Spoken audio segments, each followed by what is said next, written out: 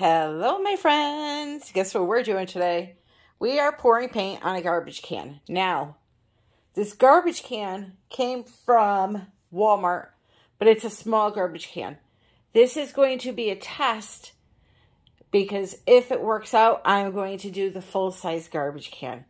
Why paint a garbage can, you may be saying? Well, why not? It's another piece of furniture in the house, right? Another piece of equipment that we use, maybe not furniture. That was a bad word, but I don't know. There's been a couple of nights I've landed in the garbage can, believe it or not. But anyway, let me leave that for another time. It's something that's in our house that is seen that is typically pretty boring, if you ask me. So why not zhuzh it up? And that's what we're going to do today. Now, if you choose to do this to your garbage can, especially the big one, if you wash out the inside of your garbage can, which I do, uh, you're going to have to do it with Lysol rags and a couple of wipes. Um, if you get a big mess inside of it, it's all right to fill it in with some water and pour it out. What you want to do is try not to get the front of it soaking wet, okay? We're going to preserve it and and seal it in so that it's waterproof in the end, but the you want to try to keep the maximum amount of water off of it that you can. Now, me personally, what I do in my garbage cans is I don't ever get a, a, a very rarely, maybe twice a year, I'll get a ripped bag or something in there. But what I do is typically if it's a, a, mess inside the can, which I don't think I've ever had a huge mess, but let's say a couple of drips of ketchup or something. Usually I'll just take a Lysol, a Lysol, a Lysol rag and just clean it out. All right. I'm never fully putting it in the tub and washing it with dish soap or anything like that crazy, but you're going to have to find a way around that if you want to do this. So Lysol kills 99% of germs. I'm fine just wiping it out, you know, after I change the bag with a, a wipe and good to go. So again, I wanted to try this on a small one to make sure that it would be okay to do on a large one. Um, eh, I mean, it's going to be fine. It's how is the design going to look? You know, so that's why I wanted to try a little one. Anyway, I took the can and placed it over a lemonade container. Put it down snug on there. And I am ready to go. Okay? That's all I've done. Now, the other issue I have, the lip. So what I'm going to do first is pour some black paint onto the can I'm going to tilt it around and get it all covered. And this way I could take it and tilt the extra paint off the side. I'm going to put it back up and then I'm going to pour just enough paint to make my design on the can so that when it pulls down, there won't be a ton floating in here. But if there's a little extra, it'll just come out of the side here. It won't be a, a big issue. You can also, if you're worried, make some little, um, it won't look the greatest, but you could make a little cutout here with a razor knife, and then the paint would just pour out. But I think I'm going to be okay. It'll eventually dry in the groove here, and all will be good. All right, so other than black, I have five colors here. Uh, this is quinacridone rose from Amsterdam. Next up, Luminous Rose Holbein. Then I have Interference Violet from Color Art. I have here Metallic Purple from Artist Loft. Then I have some True Silver Prism Pour here. And then I have over here the most beautiful fluorescent violet color. And this is Luminous Violet by Holbein. All right. My black is Amsterdam brand Oxide Black. And the ratio that I mixed these paints were one part paint, two parts Floetrol, a dash of pouring medium to help it dry a little bit faster. Uh, I just used the Liquitex matte pouring medium. Sorry, I don't have much room here doing this project. Uh, so yeah, I just added a dash to each color, maybe a half a teaspoon, if that. And that'll just speed up the uh, drying process, okay? So as I said, I'm going to start by putting the black on first. I'm just going to do this and let it go down the sides. If you pour it too much on one side, it may tilt. I don't have this set up the best on this lemonade can, so I'm just going to pay very close attention to it. And you know what? I'm kind of liking that drip look on the white. I may not cover this whole thing. That might actually look pretty cool doing it like that. And then once I do the pink, it may, you know, go in some of the white areas, except I just did that. That was kind of stupid. let's play around a little bit. Why not?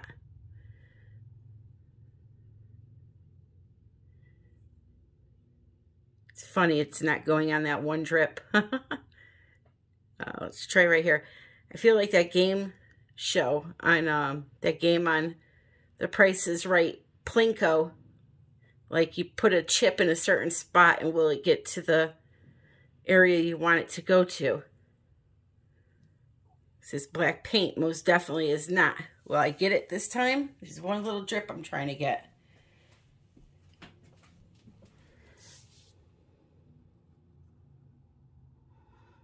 All right, well, we won't worry about it.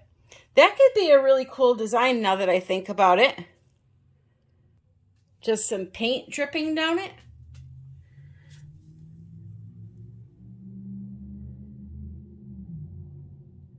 Course, I'll have to keep checking to make sure that it's... Ah, there we go. It wasn't pushed down all the way, Tammy. I apologize for the glare. Black is the enemy of all cameras. You just cannot stop it from reflecting things in the area around it. Okay, so I got it all covered, and now what I'm doing is I'm just kind of tilting it a little bit on that bucket so that the excess in here will run off, but you can use your stick too to just kind of push it out of there until you feel like it's somewhat flush. So what I'm going to do is, this is for my daughter's room. She wants pink, pink, and more pink. So I'm going to layer a cup as I would for a ring pour. Put it right there so you can see what I'm doing. And I'm going to put a little bit of black in between the colors. So I will start off with now, the, the first color in will be the last color out, and I want predominantly pink. So I'm going to start with some of this pink here, or violet. That's the luminous violet, okay? Hopefully it's not too thin. Feels a little thin, but hopefully we'll be okay. So then I'm going to go with some of this interference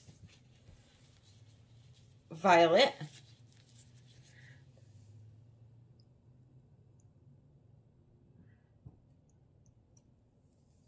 Some purple.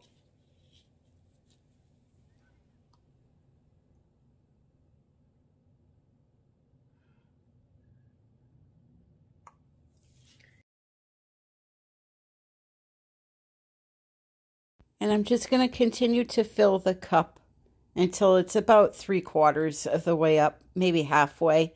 I always end up using too much paint. Um, you know, you can always play around with it and add a little more once you once you pour the cup over the garbage can. You could also just make another small cup if you didn't put enough at the beginning, but I think less is best to start with. one other thing. If you don't want to take a chance with this doing your uh, big can, your big garbage can, go to the Dollar Tree if you have to. They sell those little pails there. Use it for your bedroom. It's just such a cool idea, I think. And, you know, I'm running out of ideas here. I've done the toilet seat, the toilet, the mailbox, the table.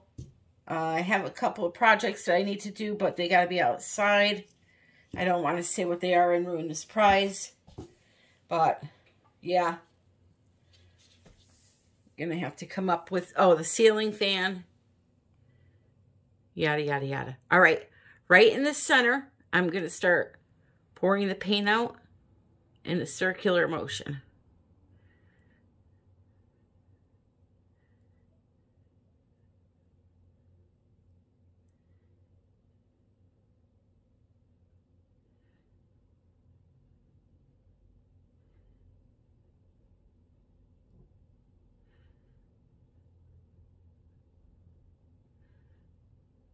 And now I'm just kind of going all over the place.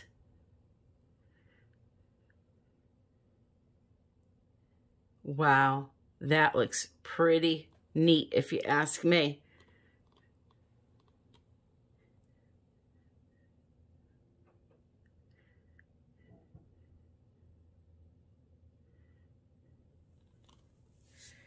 Pretty neat, if you ask me.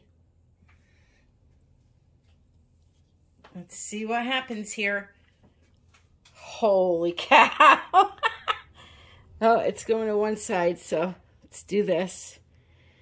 As soon as the bulk of the paint weight is off, it'll just stay still.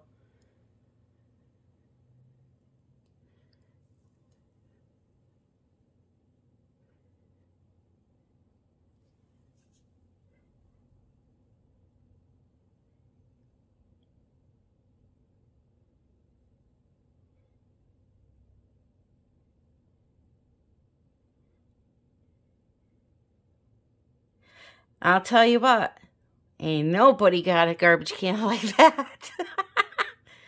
That's it. I'm not going to do anything else. Whatever it turns into is what it's going to be. Now, once it's dry, if I feel like I need to zhuzh it up a bit, I'll do that with a little glitter or something. But for now, I'm leaving it alone. So, you know, little spoiler alert. Unfortunately, when you pour on anything that's 3D because of gravity, the design gets pulled down and it never stays as nice as it looks when you first pour it. So, you know, sometimes you'll get lucky with the design and it'll be some nice wavy patterns. Um, this one here, it just pulled it down. It got very dark once it dried. So I was forced to add in some embellishments per my daughter's request, but there have been times where I have just poured and the design is perfectly fine on its own, but the cells specifically will never stay nice and round like that when they're being dragged down the side of something. And I think you'll be shocked when you see what this morphed into. So I'll let you look at it now and then let me show you what it looks like after it's dry. And remember what I told you about this groove here. Just take your stick and push it out. Okay, be very careful and it will come out.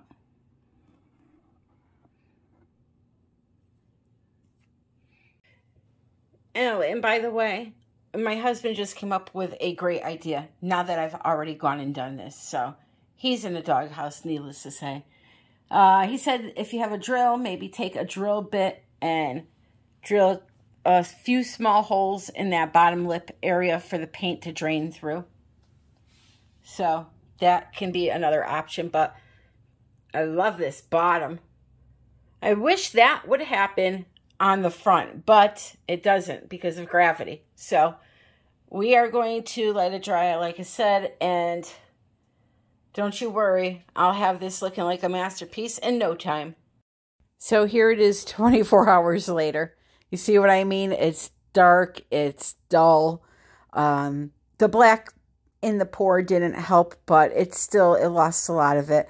Now, as far as that lip goes, the bucket itself dried 24 hours, but inside that lip, there was still a little bit of white paint. So what I did was I took Q-tips and just wiped it out. Now, if you're worried about it, because you never see that, that's facing down towards the floor. But if you want to do something like this to sell afterwards to somebody, just go in that groove and paint with a little bit of black paint to cover up the white areas that are showing and you'll be fine. So you see them there. I wiped out all the wet paint with the Q-tip and it exposed some of the plastic. Now there was areas that were dry and it stuck fine. I was just impatient and didn't want to wait for that area to dry. I wanted to continue with the video, so I just wiped it out. Uh, again, if this was for anybody else, I would not have done that. I would have let it dry. So this next step is, it's not pertinent to the pour. I was just taking a, a Sharpie and trying to find an area to start with here because it was so dull and dark. I couldn't see where the lines were for me to hand paint my areas in. So I was kind of just using that Sharpie as a guide for myself.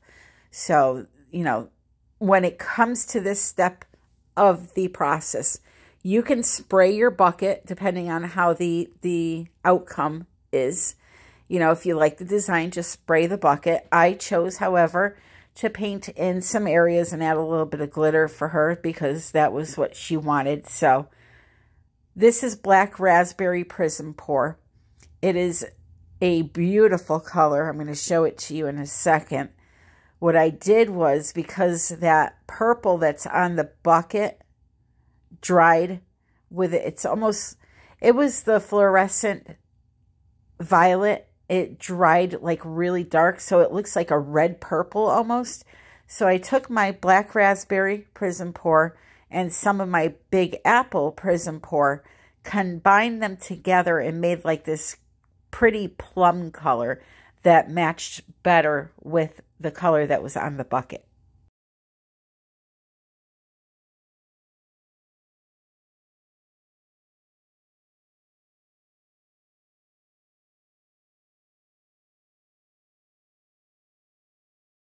So the shade here was a little bit more tame and matched better with the bucket color.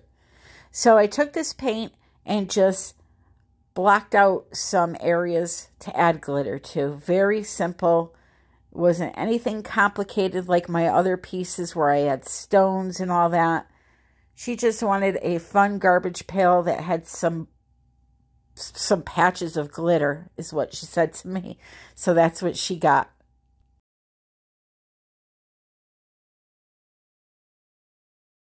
Again, though, this step is not necessary. You can just pour over the bucket and do a, a seal on it with some clear water-resistant varnish, and you can be done with it. You know, these are all optional steps. The design is totally up to you.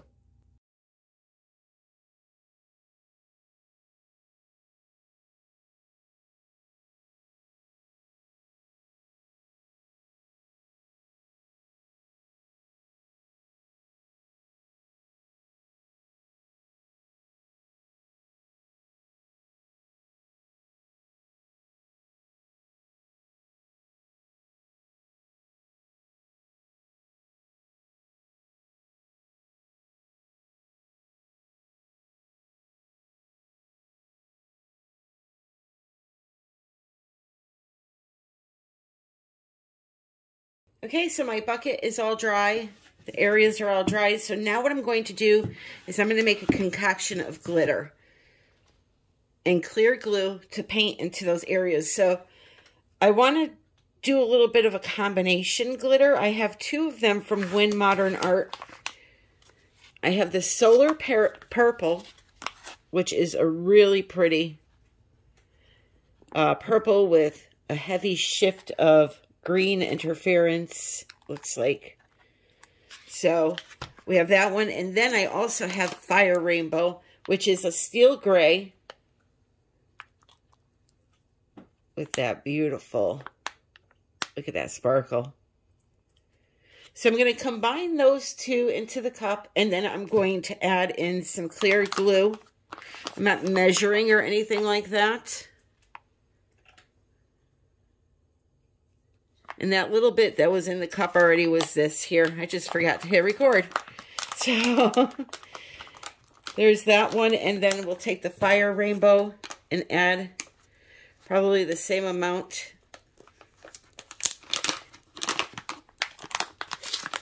Or maybe just a little bit less.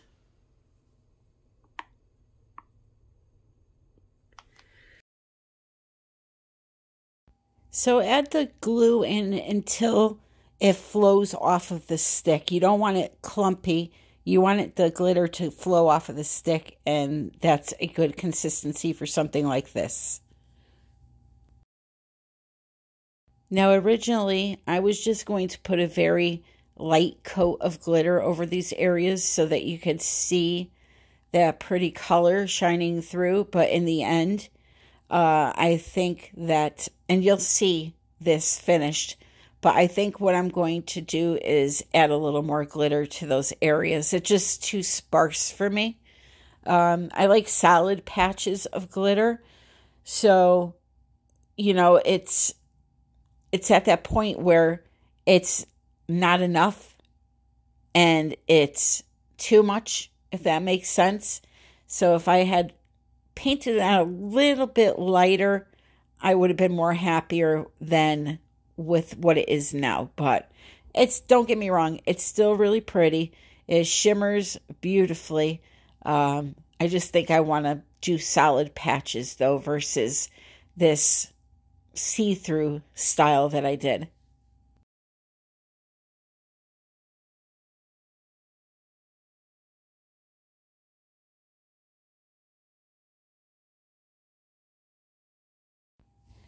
So the next thing I do after this is I just outline each area with my chrome markers that I have, and then I take it outside to spray, which I will talk about next.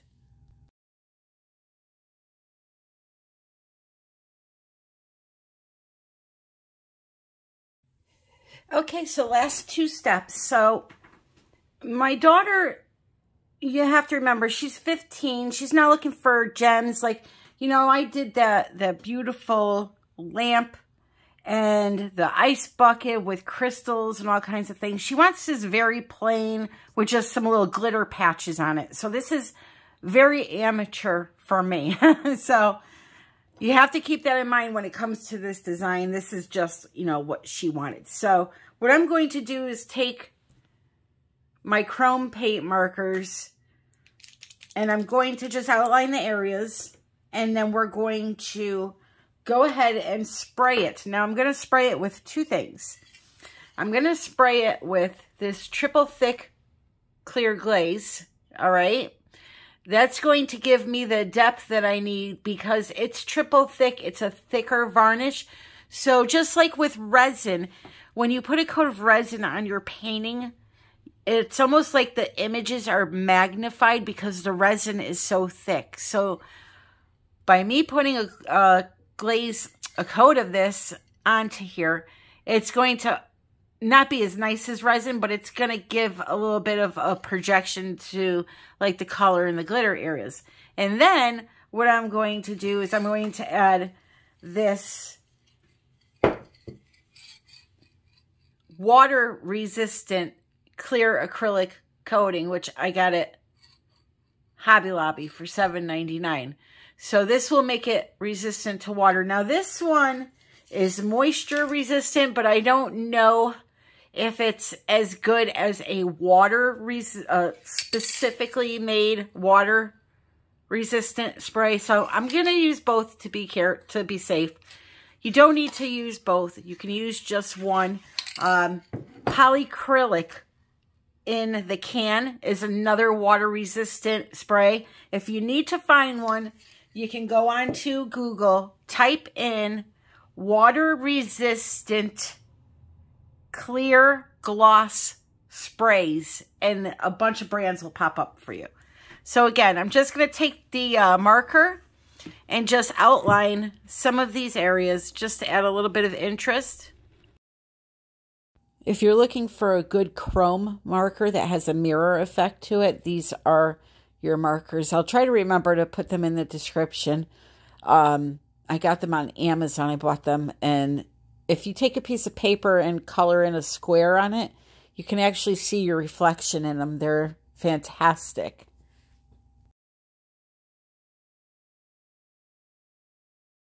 So as I said, just a few basic lines and I'm just outlining the areas I put the glitter in. But again, I won't put it in this video because it's just going to be a repeat of what I'm doing. I'm going to end up redoing those glitter areas and I'll probably show them to you in on my next video because I just don't like the the sparse sparsity. That's probably not even a word the bare patches showing through the glitter. I was trying to just get it to brush on like really, really light, but I just had too much glitter in the glue and that wasn't going to happen. However, if you want to make a mixture that is like clear glue with a little sparkle, just add the glue in first and then a pinch of sparkle. So I took it outside to spray varnish it and I was going to show you, but the wind was so heavy the overspray I was afraid was going to get on my camera, so I just sprayed it off camera, and I'm showing you it here that it's sprayed, and now I'll show you inside. So here we go. Now that I have done a small little trial run, I'll definitely be doing my big one. And putting a little more work into it than this one.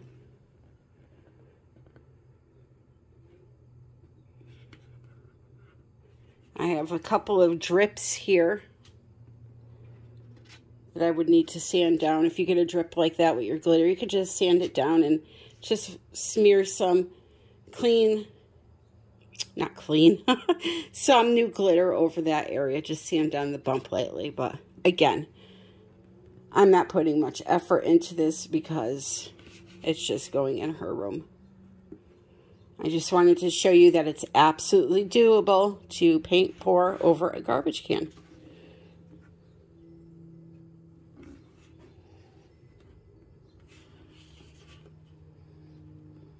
And now that I'm looking at the glitter, I may do another layer of it because it's just, it's not thick enough.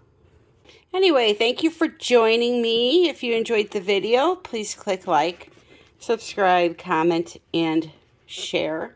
Comment below. Let me know if you're going to try this with your can. Hey, why not? I will definitely, again, be doing mine. I'm going to start it probably this weekend, so I'll show that video to you in a few weeks. It'll take me a bit to do that big one, but um, it's definitely doable. But yeah, I hope you enjoyed it. As always, I thank you for joining me. And until the next time, I love you all and happy pouring.